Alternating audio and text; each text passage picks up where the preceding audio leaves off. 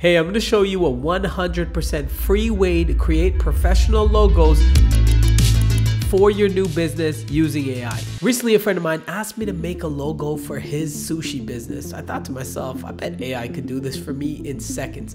But what I found out was a lot of these free logo makers aren't actually free at all. In fact, a lot of them sneakily charge you to download the logo after you've spent some time making it or require you to pay for some kind of subscription in order to get logo generation capabilities. But after testing dozens of AI logo tools, I finally found one without any of the hidden costs. And this is the exact method I use to create my friend's logo.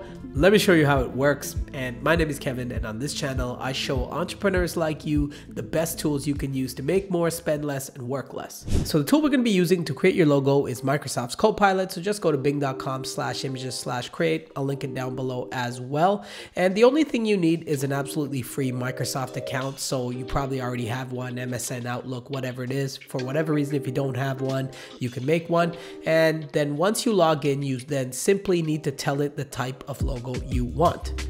Let's say it's create a minimalist logo for my gaming cafe business, include the text Java game. Use a white background. This is really important as well because that's what's going to make it easy for us to remove the background and extract our logo. So you can see right off the bat, it did a pretty good job, but sometimes it kind of messes up on the text. So you might have to run it a few times, but I actually kind of like this one. So all you need to do now is just click on this one and then what we're gonna do is make the logo usable. So go to customize here.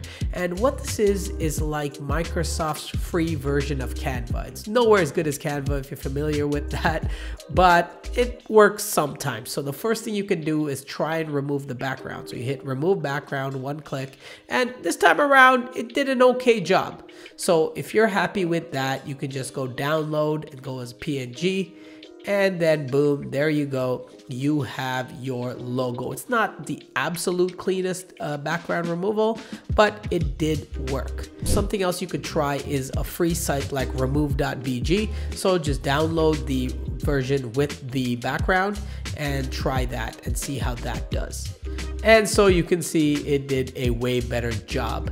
And if you have Canva, you can do it in Canva too, or you can just Google remove background and there's like 50 sites that'll do that for you.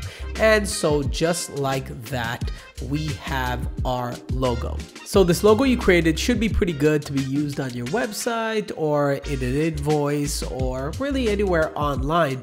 But if you really want the best quality because you need to put it on a t-shirt or you need to print it on something really, really big, then what you need to do is make this logo from what's called a bitmap or raster to a vector. And all that really means is that the logo won't distort when it's resized no matter how big it is then head over to this site right here. I'll link it down below. And this is Adobe's free converter from JPEG to vector. So just hit upload your photo and drag in your photo.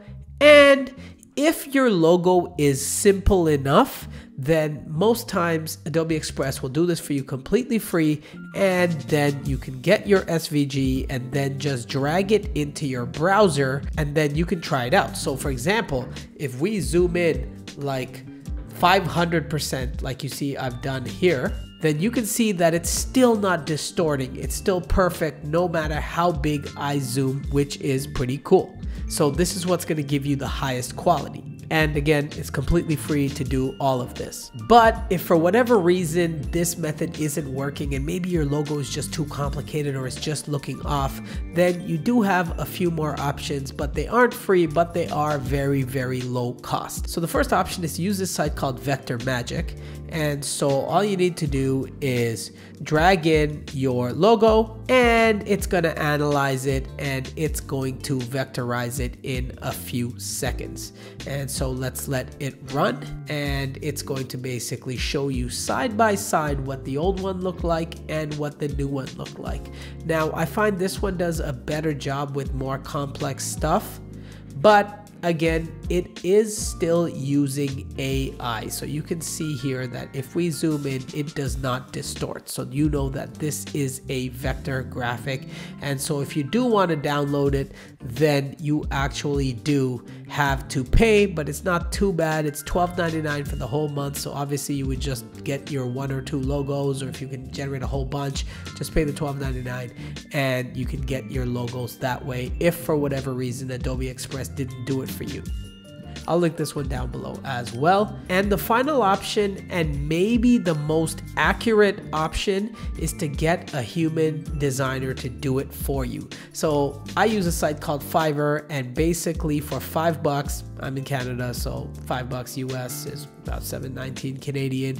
You can get someone to just trace it for you. Just make sure whatever gig you pick, you look for a hundred percent manual tracing because the last thing you want is one of these guys just using one of those vector programs charging you five bucks each when they're paying $12 a month and selling hundreds of these, right? So it has to be a hundred percent manual. And this is what's going to be the most perfect result if you're really a stickler for quality. But I would say nine times out of 10, just use the Adobe Express method with the free logo and you're good to go. But if you are printing this on some things and you're really doing something like that, then it might be worth spending $5. But in the grand scheme of things, or $12.99 if you don't want to wait for someone to do this for you. Either way, I'll link this exact gig down below if you're interested in checking it out.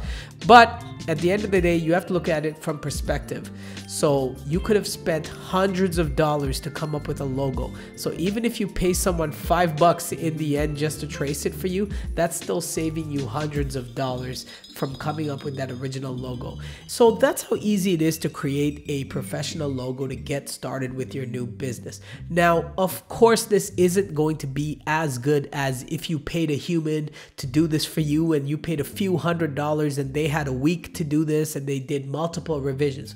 Obviously, it's not going to be as creative or specific and finely tuned to the exact thing that you want. But I'm always a believer that when you start a new business, you don't want to have a lot of costs up front. You want to get out the door with as little cost as possible so you can make your first few sales and then take that money to invest back into the business. So once you start making some money, I would recommend that you redo your logo at a later date, but this is absolutely fine to get started. And I've started a lot of businesses using AI logos. But if you do use this method to create a logo, I'd love to see it. So comment down below and link your site or wherever you're using your logo and I'd love to see it and I'll definitely comment on it. And if you found this video helpful, hit that like button and subscribe to the channel for more content just like this. Now, the one thing you'll need to know is how to create good prompts in order to create the best logo possible. So if you want to learn how to do that better for completely free, check out this master prompt video I just made, which is going to teach you the one prompt you can use that will automatically improve any prompt you give it. I'll see you in the video.